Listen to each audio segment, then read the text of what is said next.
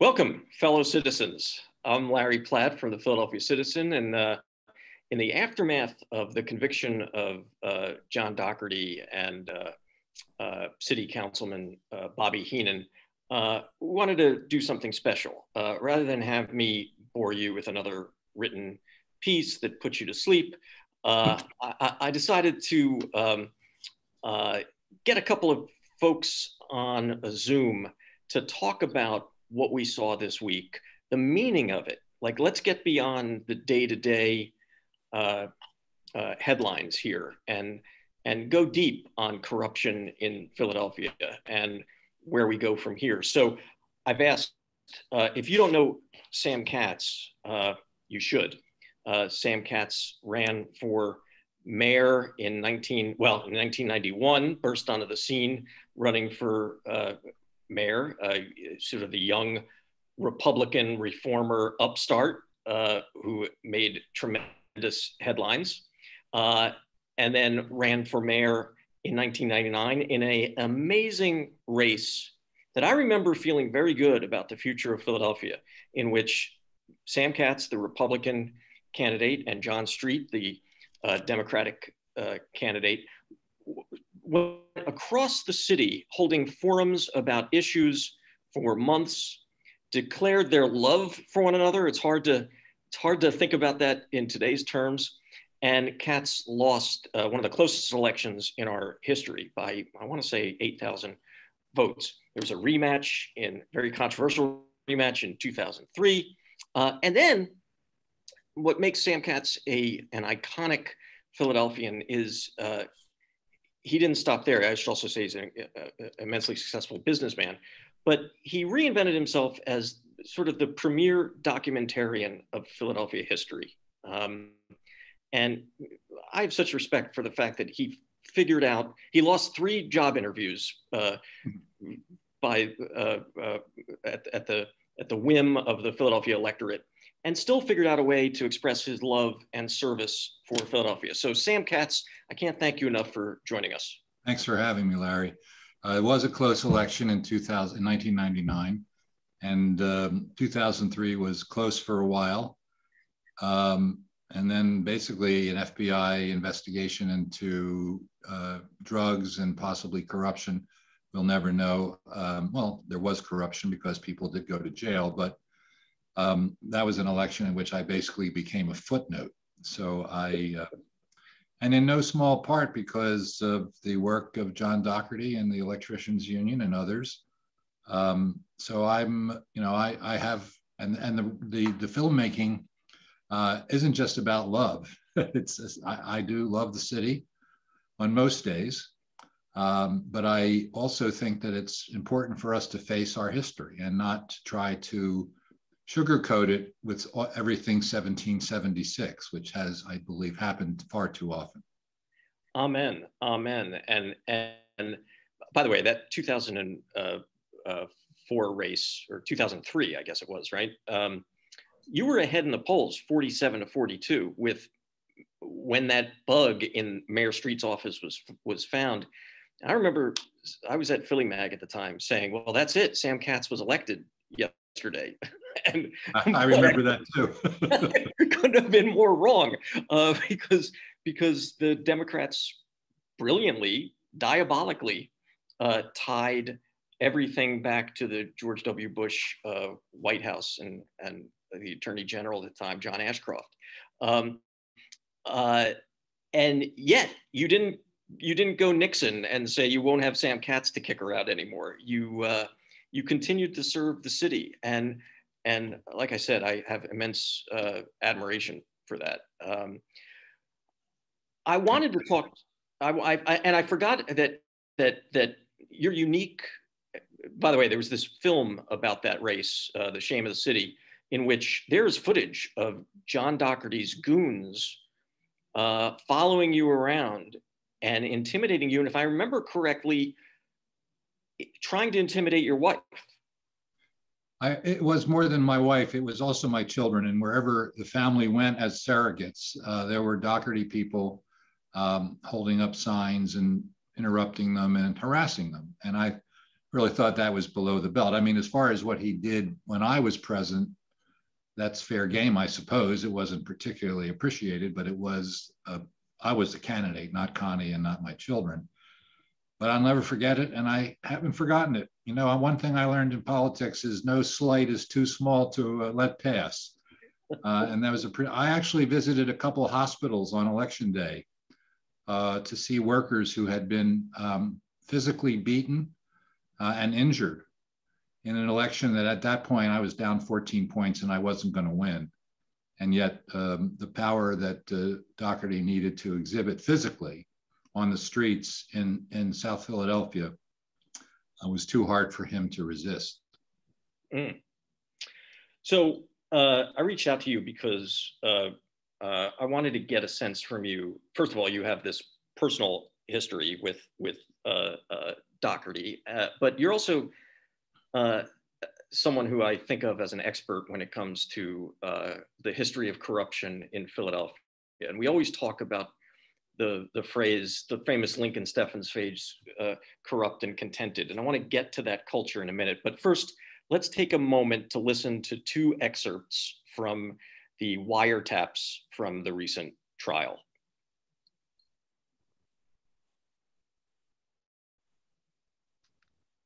Cobb, if you could cue those up. There we go.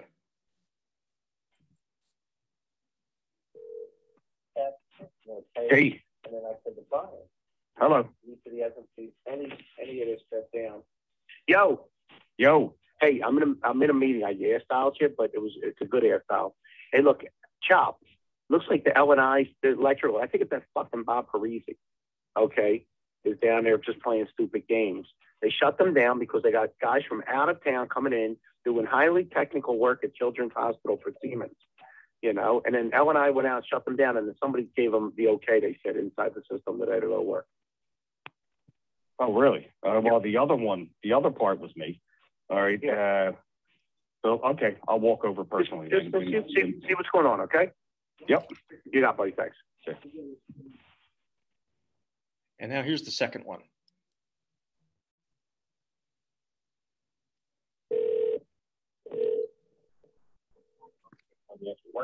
You can do whatever you want.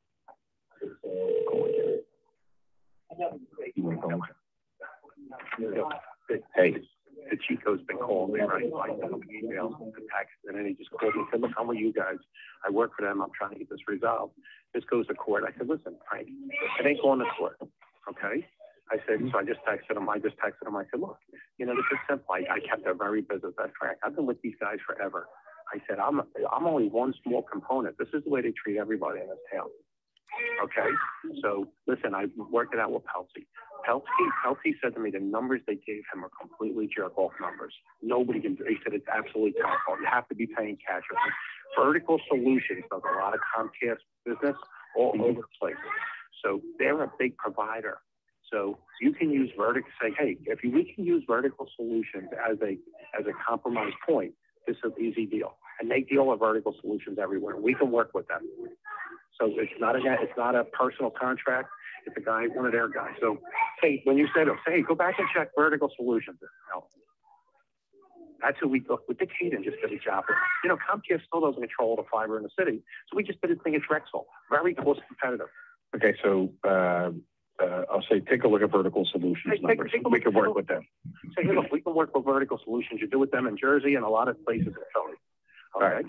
Okay, vertical solutions, and you can. Want me to go through Frankie's on that, or? No, no, no. You do yourself with that guy. I just gave him. A okay.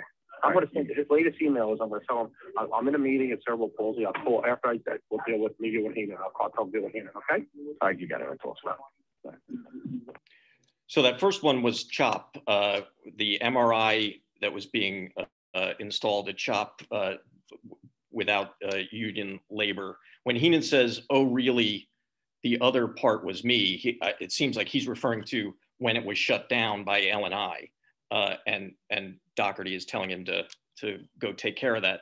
Uh, and the other one is the the Henon in his role as as uh, com as as city council member uh, was negotiating with Comcast on the uh, city franchise cable franchise, and we hear Dougherty telling him what to say and taking his cues from former councilman Frank DiCicco, who's now a lobbyist hired by Comcast, but looks like he's playing both sides of the equation, and uh, Dougherty sort of scripting out uh, for for Bobby for his lieutenant Bobby Henon. So what what did we just hear? What did that really tell us?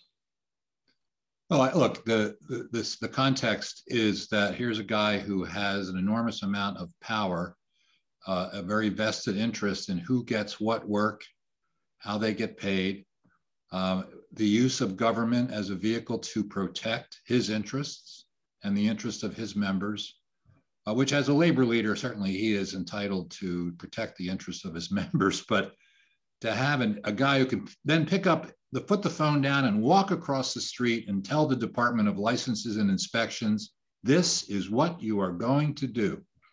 Well, I don't have that. And I don't think most Philadelphians have that. And uh, a lot of people who would love to be able to get things done for their street or their house or their family don't have that. So what we've been hearing, what, what this conviction um, reflects is that Philadelphia city government is not for Philadelphians. It is a corrupt city. And this person, Dougherty, has been the most corrupt part of the city without being a member of the city government. And I think that we have a unique opportunity at this moment. We've had these opportunities before. Uh, sometimes they have uh, been inflection points in the history of Philadelphia. Uh, in 1919, we had a new city charter that was pretty, pretty weak. In 1951, we had a new city charter that completely changed the city government and was a reaction to 80, 70 years of Republican corruption. But we've had this single party town since 1871, basically since 1836. And when you have no competition in the political world, uh, you end up with a situation in which domination by one party, and then within that party, domination by one group of people uh, leads to a very unfair, inequitable, and expensive uh, and pro progressive in, in impeding process, which is what we have in Philadelphia. Uh, it goes back, it's not new. Un unfortunately, through too many occasions, and it's happening right now, uh, we, we tend in Philadelphia to treat it as charming. It's charming. Oh, it's just our character. Well, there's a huge tax that Philadelphians pay uh, in lost uh, growth as a city that people don't want to do business in, uh, in the unfair allocation of the best jobs, which oftentimes leaves out people of color. You know, Dougherty created a, uh, a, a, charter school, which has uh, recruited a lot of students of uh, lower income, more at risk neighborhoods, very few of whom, while becoming apprentices, ever became union uh, laborers on a major job site. It's part of the, the allure of creating the image that is not backed up by any reality. And who, who paid for those charter schools? We, the citizens of Philadelphia.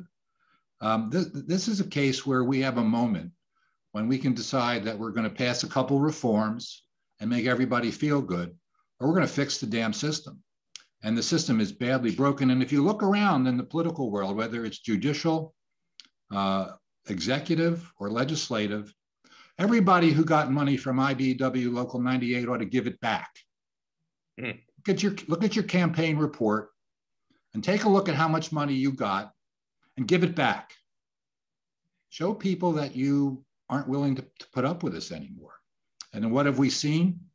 Practically nothing practically no one has anything to say.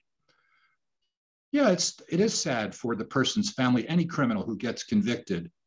It's sad for their family, but it's also sad for the people of the city. And I don't hear anybody other than Maria and Jared talking about that. Why? Are they afraid that he's going to win an appeal? Was there a procedural problem with this trial? You know, everybody said who read the papers and read these quotes uh, that this case was weak. But until you hear the tone and the nature of these conversations, which the 12 members of the jury did hear, it's very difficult to put your arms around how utterly disgusting and abnormal this is. And so to hear at the end of the trial uh, Mr. Dougherty coming outside and saying, I've been convicted for doing business the way Philadelphia does business, he's right. We are all guilty of allowing this to happen, of being asleep, of seemingly not to care. And we have a moment where we could care. And if we take advantage of it, I think there is possibly a better future for the city. And if we don't, the stagnation that I think we've been living with for a long time will continue. So a couple thoughts. One is that one remember this was a federal trial, so you had people on the on the jury who weren't just from Philadelphia, people from Lancaster, people from elsewhere in the state. One of the jurors said listening to those tapes was appalling. That was the word she used.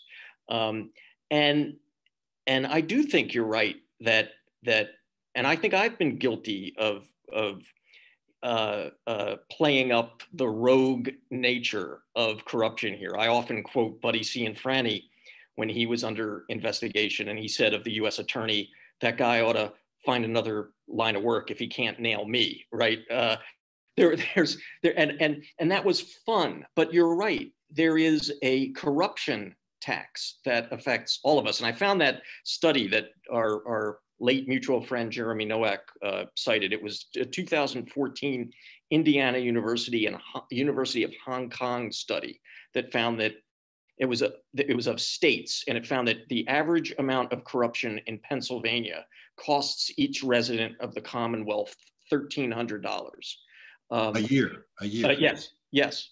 So that's a that and that so you know that's a real cost, but but too often no one feels it uh, it's just headlines. Um, and, and I think what you're talking about is how do we get people to feel this? Well, I, I, I think we have to talk about it, you know, and I, I, I've said before to some people in the last 48 hours, the word reform is not the word. The word is anti-corruption. Uh, reform has historically been a was a very powerful word in the 1940s and early 50s when Clark and Dilworth were elected. Uh, it may have been a very important part of uh, Michael Nutter's election in 2007 uh, in, in Ray Pay to Play. But reform is a legislative process. We're going to change some laws. We're going to make you do this. You know, what about character? What about the people who we elect? What about the institutions to which we elect them? Looking at a city council with 17 members, 10 of whom represent districts and have senatorial prerogative, a council mandate prerogative, but it's like a senator who can stop a nomination or stop something in their state. And we've bequeathed that power to 10 representatives of city government. Somebody today gave me a really good suggestion, which I want to pass along, which is probably we need to change the charter, make city council a part time job, make it 25 or 30 districts, make them meet at night, and have them meet in every neighborhood rotating around the city so the public can participate. It's really hard to go down there at 10 o'clock on a Thursday. But to give the power to a member of council, by the way, this is how Philadelphia city government worked before we enacted a strong mayor home rule charter in 1951, in which council members and the committees that they operated ran the departments. Here, this guy's running the department. Go across the street and tell them what they're going to do. And apparently, uh, L and I, in some cases, were, were enablers. Uh, and and so Philadelphia, you know, the corporate world, the, the, the, lobbying world, the donating world, we're all enablers. And we, we have to wake up because the cities that we're competing with, the region that we're competing in, the states that we're competing with, uh, to the extent that they tolerate this, they're falling behind the eight ball. To the extent that they don't, they're eating our lunch. And I would say, uh, given the economic curve on which Philadelphia currently sits, our lunch is being eaten. And it's not just by uh, other places, it's by the people who are corrupt. And we can, we can no longer continue to be contented. We have to be pissed off. It's time to say enough is enough. Give back the money, change the structure of city government, Stop amending the charter to end the Iraqi war and legalize marijuana. These are not governmental functions of a charter. A charter is supposed to be the way we operate the government. And it's the, it's the local constitution. Well, that's the theory. Yeah. the American Constitution only has 26 amendments or some, something like that. and none of them tell the Congress who gets appropriated what money, like this last amendment that uh, made, the, made the case that we have to appropriate money for the Housing Trust Fund. If the Housing Trust Fund turns out not to be a great idea, and I hope it's successful, um, I voted against that, that amendment, but what, what are we doing? These are political statements that get, approved. make it a resolution. If the city council wants to spend its time making resolutions and voting on them, great. Don't ask the voters to change the governmental structure of the city by amending the charter with these ideas that are philosophical or ideological, but they're not governmentally structural and they're not important to the charter. But there's a lot to do. Um, leadership is a key ingredient. To, to Dougherty's credit, and I don't give him any credit, but to Dougherty's credit, he saw a vacuum in leadership and he filled it. He filled it with money, he filled it with violence.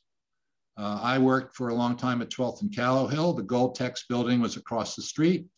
The police civil disobedience squad was there every day, notwithstanding the fact that the non union workers who came out of that building on occasion got beat up. Uh, we saw a tape one day of Dougherty walking down the street ready to kick the crap out of somebody. He was on camera. Violence was is very much part of the mix here. So I, I think we looked and heard and saw. We have seen, by the way, this for a long time. No criminal action ever taken against him for, for violence, yeah. not for corruption, for violence, because the DA's office, at least at that point, uh, we were in his pocket. You know, Seth Williams was in his pocket. So this is, um, it's enough. You know, I'm sick of it. I, I give Comcast some credit. Obviously, they decided to push back. I heard in one of the tapes a reference to one of the senior executives there, happens to be my neighbor, you know, who's giving them a hard time about the parking authority. Think about the parking authority. The parking authority was stolen from Philadelphia, by the way, probably in part to help me get elected, uh, when Speaker John Perzel decided to put an amendment in a bill and make the Philadelphia Parking Authority a state agency. And it's all part of this cabal. Uh, uh, so I, you know, we we don't have a parking authority whose business is to think about bringing new people into Philadelphia. No, put a ticket on their car. Make sure they don't come back. Get their car towed down to South Philly. This is a mess, and so, I, I, I just think it's a long-term mess that we we've allowed to tolerate, and we have a chance to become a 21st century city. And here is the moment. I wanted to get to that, but first, take us on a. Uh, I'd be remiss for anyone who's new to Philadelphia uh, uh, or, or doesn't know the history here, for not asking you to walk us through the corruption culture here. There, there are, and you've documented this in your films, uh, which, by the way, anyone who's interested in Philadelphia should should watch. Uh, and give them the what, what website should should they go to? Well, the, the series that I would recommend is called Philadelphia: The Great Experiment. There are 14 episodes. They're all on YouTube. Uh, if you start with the uh, 1870s and watch, you know, through the 1970s, corruption is there all the time. There's an episode 1920 to 1940 that I intentionally named Corrupt. Um, and that was the height of Philadelphia's corruption. You'll recall, if you've read the history a little bit, that uh, the mayor of Philadelphia wanted to try to break up the uh, prohibition uh, speakeasies and taverns that were proliferating all over the city, most of which were owned by ward leaders, and uh, brought in a, an ex-Marine, uh, Smedley Darlington Butler, who probably overstepped his boundaries, but went in to try to close these places down and got fired. And, I'll, and when the, the last part of that story is when Butler got fired, he took his service revolver gave it to the assistant to the mayor, Mayor Kendrick, and told the mayor, he told the, the assistant the mayor would know what to do with it, um, meaning to shoot himself. Um, the, the, history starts really. Uh, By the way, in, Smedley, I, I, I remember uh, he said this was like a, a, war hero. And he said the hardest thing he ever had to do in his life was try to clean up Philadelphia and rid it of corruption he, he was unsuccessful doing it. So it wasn't that it was hard. He couldn't do it. It was he was he failed at it. He, he was not supported in any way by the political system.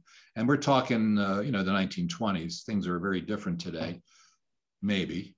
Uh, in any case, you know, you begin to see in 1870 the first time African American men, men get the right to vote. And the ward leader of the, of the fourth ward, which was Moyamensing. So you're talking South Street, uh, maybe west of 7th, all the way up, I don't know how far beyond Broad. But that was a, uh, an ethnic enclave, a democratic enclave, and a guy named William McMullen, who'd been in the Mexican War uh, and was an Irish Catholic. Uh, and during the Bible riots of 1844, was very involved on the street with guns. He'd been shot many times. If you read the, the book about Octavius Catto, uh, there's a lot in there about McMullen. So McMullen, on this first chance where uh, African American men had a right, had the opportunity to vote in a mayoral election, uh, sends a group of men out to the street to beat up African Americans, shoots Octavius Catto, murders him. Five other black men were murdered. The, the, the idea was to tamp down the turnout. It didn't work. And the African American community, appreciative of Lincoln's Emancipation Proclamation, elected a Republican for the first time as mayor. They held that position, those positions until 1951.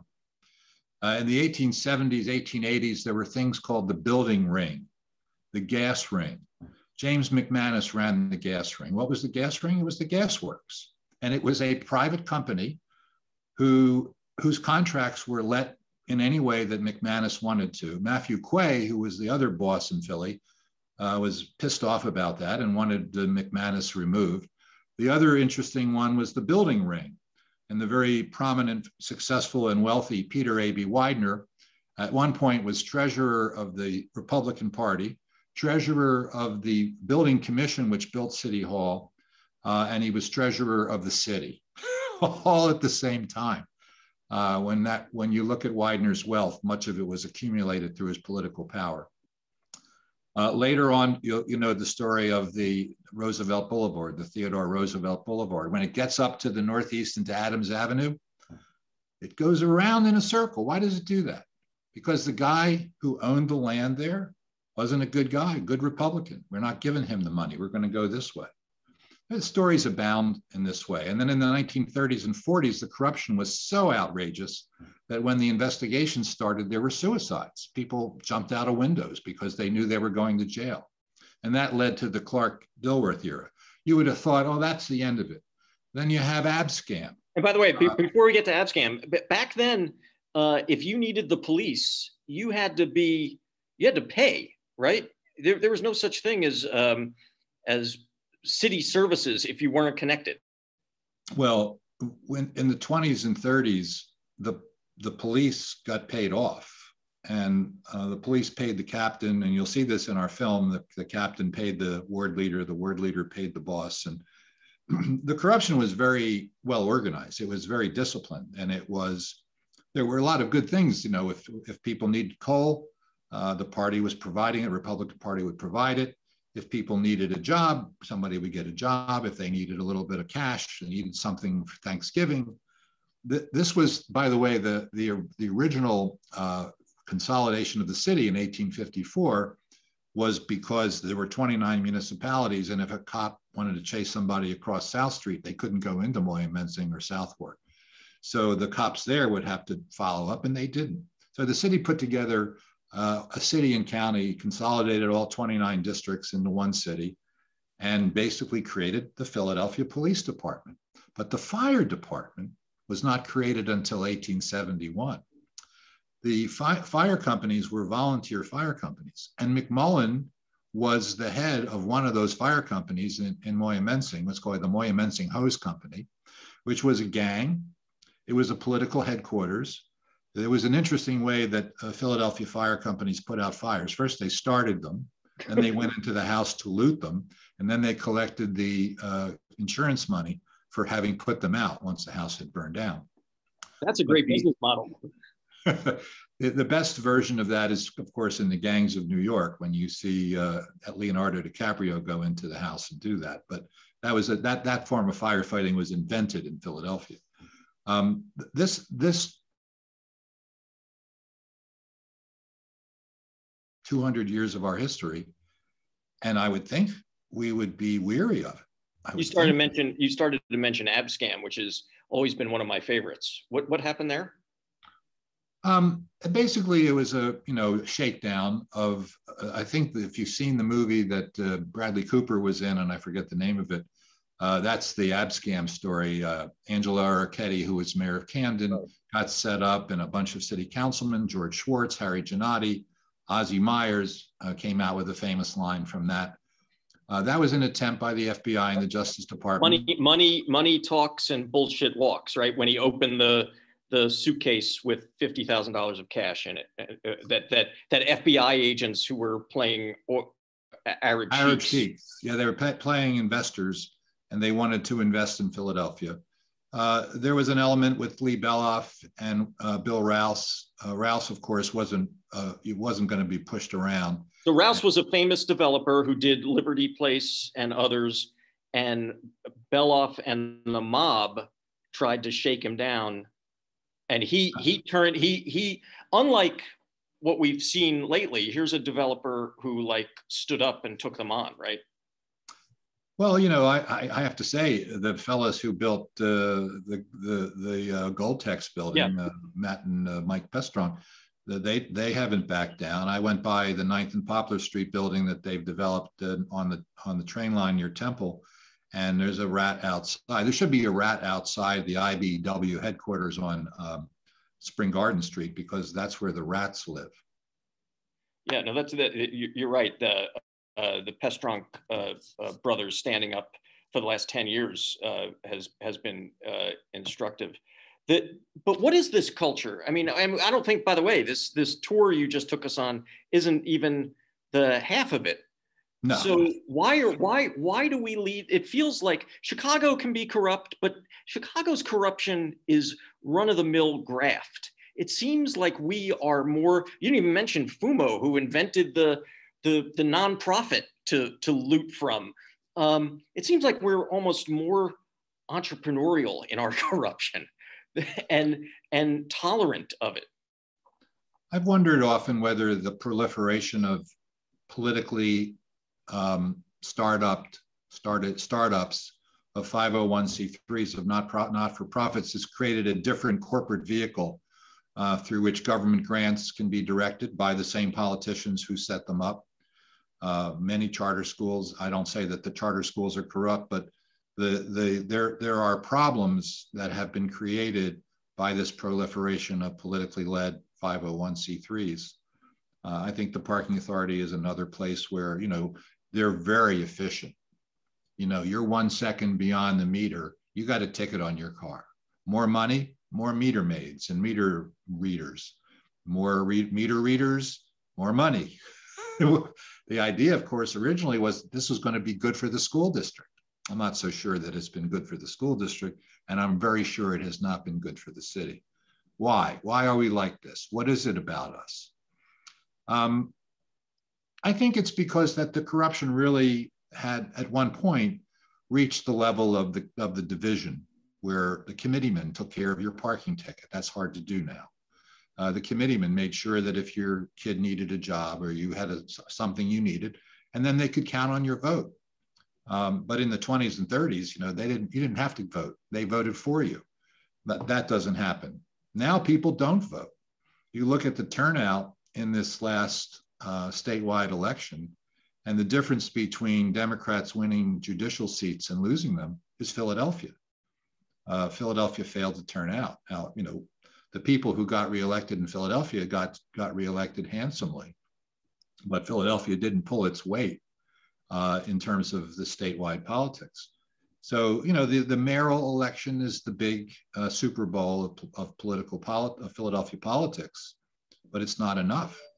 You know, we elect 10 district councilmen, seven uh, council at large. Is it seven? Yeah, seven.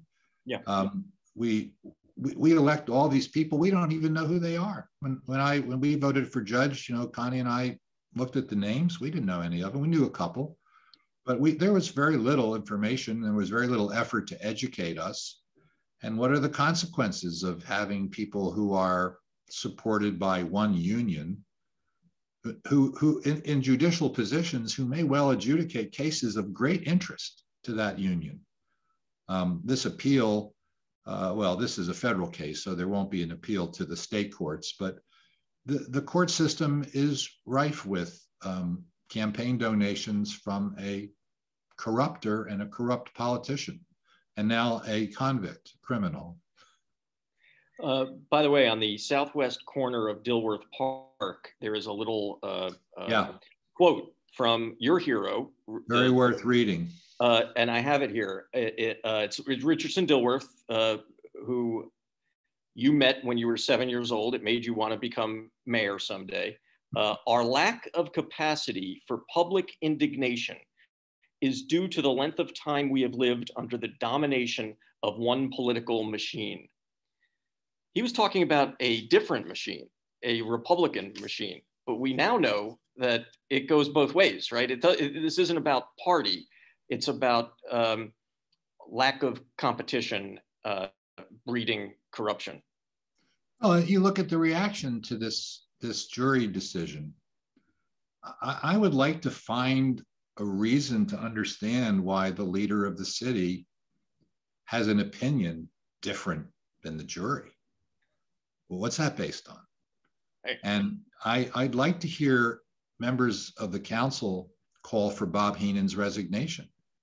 He's been convicted of corruption and he's your colleague and you sit in a body in which you are going to let him continue to operate. What does that make you? So, you know, I, I just don't understand why, why everybody who wants to run for mayor in 2023 isn't already talking about the anti corruption campaign that they're going to run. What are they afraid of hurting somebody's feelings? The jury hurt his feelings. Uh, so I just, it's very, very disappointing. Uh, you're you were correct in your uh, assessment of the 1999 race that John and I had. We were it was an open seat, and we were trying to replace Ed Rendell, who was a very well regarded and a very popular mayor, and a, I think a pretty successful one. But we were doing it by talking about issues. We aren't talking about issues. We're talking about money and influence and power and corruption. And that, that is the obstacle to being effective governance, governors of the city. You know, good governance usually doesn't look the other way when it comes to dealing with problems. I'm finishing a film on the bankruptcy of Detroit, which I'm proud to tell you was given the Library of Congress Ken Burns Prize for Film, the winner of the Library of Congress Ken Burns. Wow, that's awesome! Congrats. And the film is about what happens when you kick the can, in this case, the fiscal can, down the road for decades and run out of road. And when you run out of road, it's ugly. Pensions, you know, municipal employee pensions are on the chopping block. City services are on the chopping block. Debt obligations are going to be haircutted the fact that the city of Detroit owned its art museum and that brought in foundations, the state, and the art community to provide resources, $816 million of new money, is what saved the city and got not saved the city, but got them out of bankruptcy. If a city that kicks the fiscal can down the road for decades doesn't own their own art museum, they're up the, the creek without a paddle. And when the Biden stimulus money, which saved a lot of cities over the last fiscal year and maybe over the next one, runs out, which it will, and the impact of COVID on the commercial real estate market, on the small business market, on the number of commuters riding on SEPTA, all those things. Philadelphia is going to be back in the same hole it was in 1991 when I first ran for mayor because of my background in finance. So we're not going, we're not in a position to, to solve problems because our governance is so weak. It's, it's so stratified. This councilman can stop this and that, not in my backyard. You can't do this unless you give me campaign donations. You don't have the right lobbyist. You don't have the right lawyer. What about the rest of us? Mm. And uh, the outrage that lacks uh, presence in Philadelphia today is not a hopeful sign. But hopefully, in a couple of days, after people start to, you know, take in what's just transpired, we'll see some courage on the part of the political class. And I use the word class advisedly. Uh, last question is respond to, I'm, I'm hearing, uh, well, Dougherty has said it and others have said it now, that, that this was a, uh, that this verdict was criminalizing political activity, normal political activity, normal political lobbying.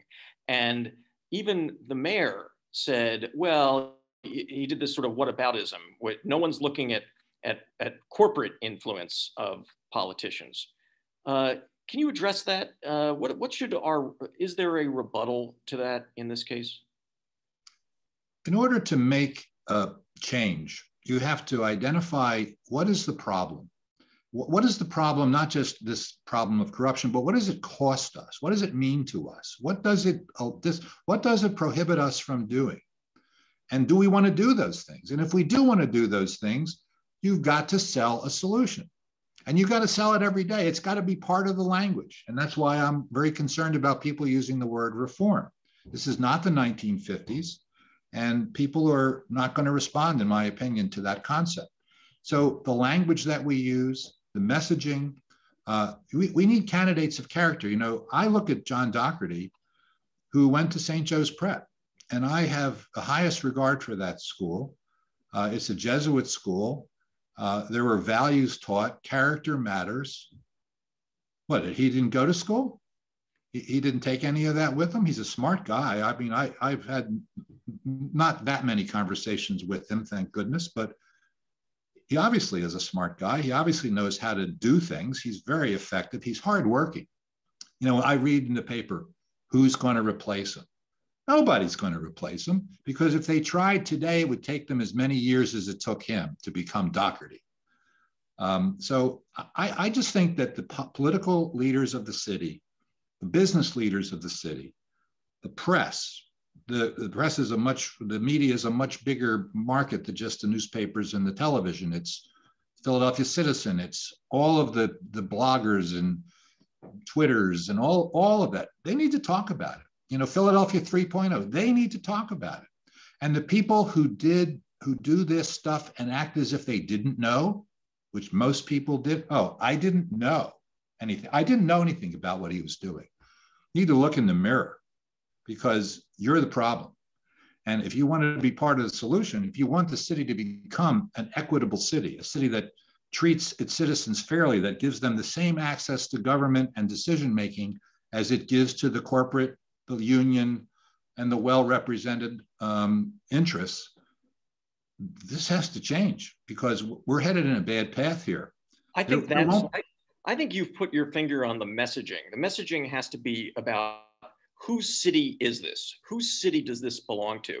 It's That's it's right. it's a it's a populist message as opposed to the good government uh, uh, egghead, and which I've been guilty of of reform uh, which is really just sort of 30,000 feet. Uh, let's adopt this program. Let's adopt that that program. Uh, the the and and by the way, I mean we should talk about about specific solutions. David Thornburgh of Committee of 70 and and State Rep Jared Solomon uh, have wrote an op-ed in which they suggest public financing uh, elections like they do in New York, eliminating dark money, and restricting outside employment.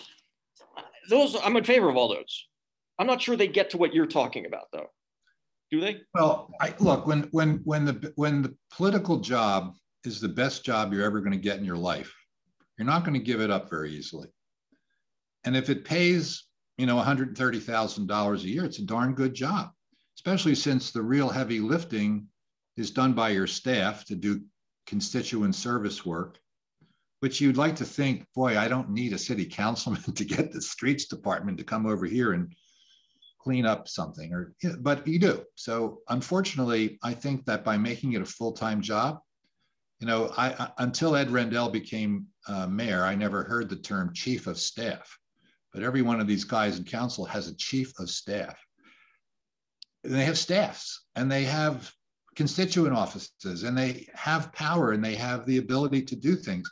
Make it a part-time job. That's to me that would be uh, somebody made that suggestion. It's not my original idea so i want to not going to quote the person, but you make it a part-time job and then anybody could be a city councilman. There's not going to be a reason to become a city councilman for money.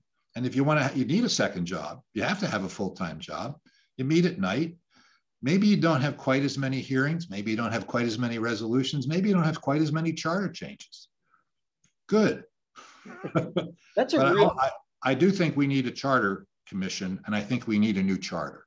Reasons yeah. not having to do with corruption, uh, although that's not a small reason, a part of it. But generally speaking, the, the, the design of the Philadelphia city government, which by the way, was intended to be a strong mayor form of government. That was what the city charter designed.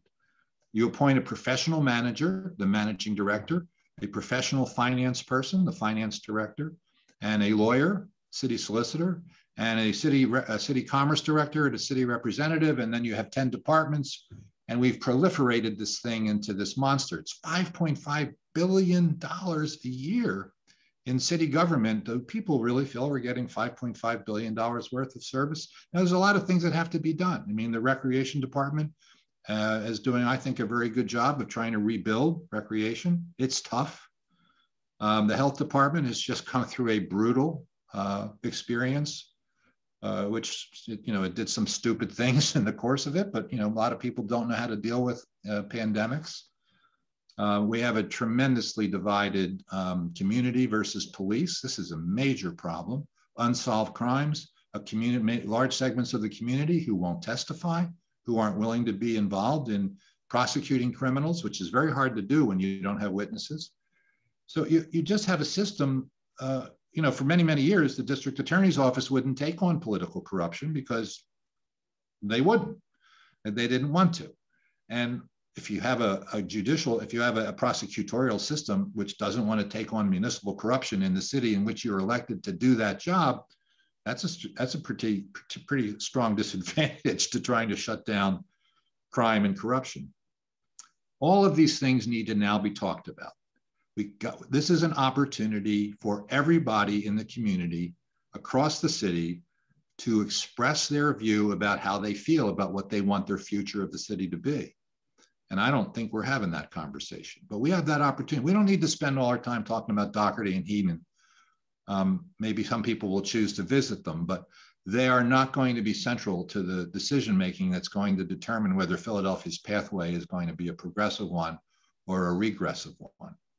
That's a great place to stop, and that's why I reached out to you and, and also uh, to to uh, State Rep uh, Solomon and Councilwoman Sanchez, who we'll be talking to in a moment, um, because I I do want to get past the headlines and start talking about you know, you're right. In 2007, 2008, Michael Nutter, uh, uh, there was a movement of reform, and and pay to play was addressed, and we have that opportunity now uh, if someone will harness it.